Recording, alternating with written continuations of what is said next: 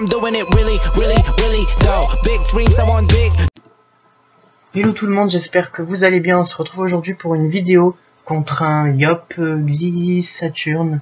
Je crois qu'il m'avait pris l'ini à la dernière seconde, mais je suis plus sûr. Euh, je rappelle que mes vidéos, euh, les combats que je vous montre, c'est pas des combats que j'ai fait euh, aujourd'hui ou hier. C'est vraiment des combats que que j'ai pu faire il y a une semaine, deux semaines, trois semaines, parce que je suis assez en retard. J'ai beaucoup trop de vidéos à commenter. En ce moment, je fais énormément de PVP, donc euh, je suis énormément en retard euh, dans les vidéos que je vais vous montrer. Euh, donc voilà, on se retrouve contre un Yop. J'ai préféré mettre les résistances neutre feu, parce qu'un Yop, c'est principalement terre neutre feu la plupart du temps. J'ai quand même, je crois, 30% à l'air, donc au cas où s'il a des dégâts air, ça suffit 30%. Donc voilà, Chacha Angora, je pense qu'il est puissance, donc il est peut-être axé multi. Donc là, on voit qu'il charge sa coco. Il a déjà tué mon Doppel. Hein. C'est vraiment dommage euh, que mon Doppel est déjà mort. Donc voilà, voilà. J'en profite pour vous montrer ma nouvelle veste qui est vraiment super. Hein. Je l'aime trop. Regardez, il y a les manches tatouées.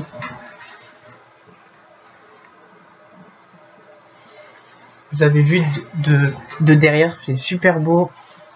J'adore, on dirait une veste, on dirait qu'on a des tatouages limite, c'est vraiment beau. Je l'ai payé une fortune par contre. Euh, bon, pour en revenir à la vidéo, euh, le Yop a un beau skin quand même, un Piou et, et le, le Loufo, Loufort, je sais plus comment ça s'appelle, euh, le bandeau rouge qui est vraiment stylé.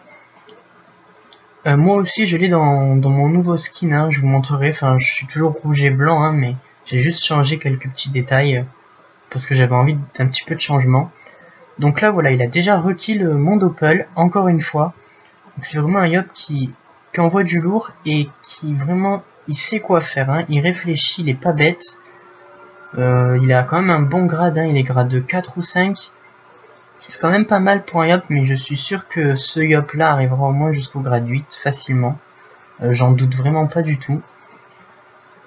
En plus, il a quand même un bon bouclier feu Le Phtalmo, c'est pile le bouclier qu'il faut contre les Osa. C'est vraiment le bouclier euh, pour contrer le dragonnet, le doppel, le bork et l'osa qui tape principalement feu. Même si au dernier match on commence souvent à taper eau et terre. Donc là le Yop il me, il me pousse, hein, il essaye vraiment de me bloquer parce que là en fait quoi que je fasse, je pourrais pas... Euh, parce que moi je pensais la jouer avec le bouffe-tout et la pesanteur pour contrer sa coco, mais en fait je ne pourrais pas. Parce que le Yop s'est bloqué. Et du coup, je suis obligé de me prendre la coco. Donc ça, c'est vraiment, c'est vraiment embêtant pour moi. Il a vraiment bien joué sur ce coup. J'aurais dû prévoir un tour d'avance et, euh, et vraiment le pousser avec le sanglier un tour d'avance.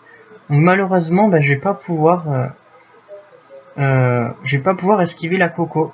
Donc euh, je suis obligé de d'essayer de le bloquer quand même pour pas qu'il me rush trop au cac non plus. Là, on voit que j'hésite, hein, je savais pas trop quoi faire, donc euh, je pense que je vais roxer. Il me semble, voilà, là je rox. C'est un je rox. Je suis un osa, hein, faut pas s'y attendre à un truc de fou non plus. Euh, voilà. Là, donc, on envoie... Enfin, lui qui envoie la coco et la destin, donc je vais prendre cher. Voilà, il pousse euh, le bouffe-tout. J'aurais peut-être pu mettre Kawot derrière Bouffetou. En revoyant la vidéo, je pense que j'aurais pu mettre Kawot derrière Bouffetou. Et j'aurais peut-être évité euh, la Destin ou la Coco, un des deux. Après, euh, il aurait pu précis aussi et jouer sur le, punch. Donc, il aurait pu souffle aussi le Bouffetou. Donc, ouais, faut voir. Après, ça dépend. On peut pas refaire le combat parce qu'avec des 6, sinon, on fait tout le combat. Donc là, je rox. C'est la seule chose que j'ai à faire. Et j'éloigne un petit peu le yop, parce que là, il faut vraiment que le yop s'éloigne. Il faut pas qu'il reste trop collé à nous. Le bork qu'il tape, on va voir s'il enlève des PM. Yes, le, le, le bork lui enlève un PM, donc ça c'est vraiment top. Euh, le yop, il a, moins 4 PA, il a moins 1 PM, il a moins 1 PA du press pick. Alors là, euh, le yop, il peut pratiquement rien faire ce tour-là. Donc il décide de bon.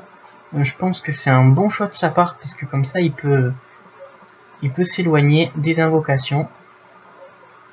franchement, il calcule bien ses tours, il réfléchit bien en fonction de ce que font les invoques, donc c'est vraiment top. On envoie le bouffe-tout pour la pesanteur, et on envoie les coups de fouet, parce qu'il faut vraiment euh, le tuer. On peut pas jouer sur la durée contre un Yop, parce que sur la durée, c'est lui qui va nous rock sinon. Donc on s'éloigne, on s'éloigne, on, reste pas près du Yop. Et voilà, et là le Yop est rentré en pesanteur, donc il va être obligé de pousser le bouffe-tout et il pourra pas, euh, il pourra pas bon pour m'attraper. Donc voilà, du coup il a perdu son épée du destin. Donc ça c'est vraiment top. Il se booste à la vitalité, hein, donc il veut pas mourir. On va voir quand c'est qu'on va pouvoir le debuff. Il a la vitalité, donc faut lui enlever 1200 points de vie. Si on lui enlève 1200 points de vie, le Yop risque, risque de mourir, donc... Euh, là, pour l'instant, on est vraiment bien, on est large. Donc là, vu qu'il peut pas relancer la vitalité euh, au prochain tour, on va, on va le debuff. Et on va lancer le crackler pour lui enlever des PA, parce que prochain tour, euh, il va Coco. Donc il faut essayer de l'éloigner, sauf que la Coco, on pourra pas l'éviter. Mais ça suffira pas pour nous tuer. Malheureusement, il a perdu. Parce que si Coco, il nous tue pas. Si Rock sans Coco, il nous tue pas. S'il s'enfuit, ben il va perdre. Donc du coup, le combat est terminé. Le Yop ne peut plus rien faire. Donc euh, désolé, j'ai dû couper euh, et revenir. J'ai eu un petit bug au niveau euh, de la caméra. Donc là, ben, je rock. Et le Yop a perdu, hein, clairement. le combat est terminé. Donc voilà, on lance la maîtrise, on booste un petit peu le dragon, on donne un coup de cac, et voilà, le combat est terminé, on envoie un petit coup de fouet, et je crois que le Yop va abandonner. Voilà, il a dit GG, il a abandonné. On se retrouve de suite pour un combat, je me fais agresser en chaîne sur la bêta, donc euh, là on, se trouve contre un Xelor. Je vais couper la caméra parce que la vidéo est coupée en deux. A de suite. Donc, euh, re tout le monde, hein, comme je disais, euh, j'avais coupé euh, la vidéo en deux. Donc on se retrouve contre un Xelor, un Xelor qui joue R il me semble. Heureusement que j'avais assez de pain, parce qu'en ce moment le pain coûte super cher sur la bêta, donc vivement le reboot, parce que le pain à 1 million d'unités, c'est un peu horrible. Donc Annie, un, une xylorette euh, super jolie, hein, rouge avec euh, le chapeau d'Alistair vraiment skinné. C'est la première fois que j'affronte un Xylor R, hein, parce que d'habitude les Xylors sont terre. Soit ils sont full terre, soit ils sont haut terre, soit ils sont euh, full red PA. Et là, c'est un Xylor qui joue, qui joue R. Donc on va voir ça. Est-ce que je vais m'en sortir? Un Xylor full Grand Duc, je suppose. Donc voilà, il me dit qu'il commence à peine le PvP très HL, donc on va voir si euh, jouer une classe euh, cheat, parce que Xelor c'est quand même une classe cheat du moment, hein, on peut pas dire le contraire, voir si, euh, si ça paye ou si, ou si ça paye pas de jouer sans vraiment la connaître. Vu qu'apparemment c'est la première fois qu'il PvP avec, il débute. Donc le Doppel qui rocks, le Crackler qui est là pour me donner les résistances, hein, et pour bloquer un petit peu le Doppel, puisque le Doppel Xelor est quand même embêtant. Et des fois, ça risque qu'il nous enlève un PA, et c'est vraiment gênant. Sachant que ce n'est qu'une invocation. Donc là, euh, le Bouffetou est mort. Et c'est vraiment bien joué de sa part, parce que le Bouffetou, il, le gênerait euh, au fil du temps avec les pesanteurs un tour sur deux. Donc là, il envoie la carotte et il se téléporte. Comme ça, il est directement à mon, à cac et il me tacle. Il envoie la synchro évidemment pour m'envoyer du lourd. Sauf que nous, bah, du coup, on va essayer de, de casser tout ça. Donc on envoie, euh, on envoie la maîtrise, hein, on va envoyer du lourd. Et voilà, on rocks, on rocks. On voit que la synchro prend cher quand même.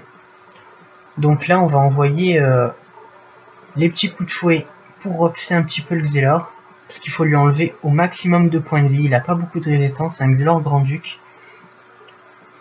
Donc voilà, on voit déjà qu'on est au tour 3 et que le Xelor a moins de la moitié de sa vie. Donc euh, là, le Xelor il prend vraiment cher.